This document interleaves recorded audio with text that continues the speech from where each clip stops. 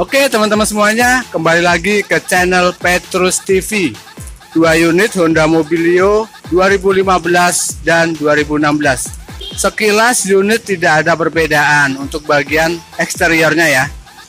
Ikutin terus video ini dari awal hingga akhir dan jangan lupa untuk like, subscribe, dan komen. Oke teman-teman, ini kita lihat untuk bagian depannya ya. 2015 yang sebelah sini dan yang sebelah sini adalah 2016. Secara tampilan memang tidak ada perbedaan ya. Oke teman-teman, ini untuk bagian sampingnya ya. Ini kita lihat bagian sampingnya. Tampilannya sangat bagus banget ya. Peleknya masih kaleng dan variasi tutup dop dipastikan mobil kelihatan lebih elegan, lebih mewah ya. Nah ini kita lihat bagian sampingnya sama antara 2015 dan 2016. Dan ini untuk tampilan bagian belakangnya, eksterior bagian belakang. Bedanya cuman di pajaknya aja. Kalau yang ini bulan 1 untuk yang 2015 dan yang ini adalah 2016 bulan 8. Untuk keduanya dipastikan pajak hidup, dokumen lengkap ya.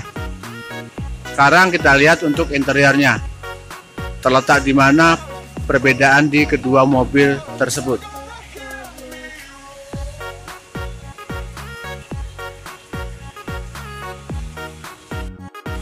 Oke teman-teman, ini untuk bagian interior 2015. Interiornya masih sangat rapi, masih sangat berkualitas pokoknya mobil Honda Mobilio ini. Dan power window ini bawaan sejak lahir ya dari Honda. Oke, kita lihat untuk yang 2016. Oke teman-teman, ini untuk bagian interior Honda Mobilio 2016. Dashboardnya lebih sporty. Terus lubang AC-nya dia sudah lebih modern ya modelnya. Kalau yang tadi 2015 itu bulat, ini sudah modern, jadi sudah berbentuk sangat rapi. Dan uh, variasi lampu di speedometernya sudah oke okay banget. Secara keseluruhan mobil masih oke okay ya. Dan bedanya untuk 2016 dia AC-nya sudah double blower. Kalau yang 2015 masih single blower ya. Nah itu perbedaannya. Power window sama ori sejak lahir Honda Mobilio. Oke teman-teman semuanya tadi sedikit review Honda Mobilio 2015 dan 2016 secara bagian eksteriornya unit tidak ada perbedaan ya. Mirip banget untuk 2015 dan 2016 untuk bagian interiornya perbedaannya di bagian dashboard dan AC-nya ya. Untuk 2016 AC-nya sudah double blower dan 2015 masih single blower. Dan dipastikan unit dalam keadaan prima. Dan kondisi mesin dijamin tidak ada masalah.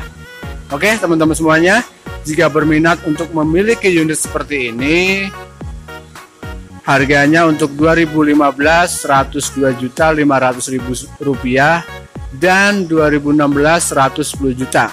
Harga tersebut sudah bebas request warna ya teman-teman ya. Bebas request warna, warna yang teman-teman suka tinggal bilang aja ke saya. Oke, terima kasih sudah mengikuti video ini. Salam dari Petrus TV.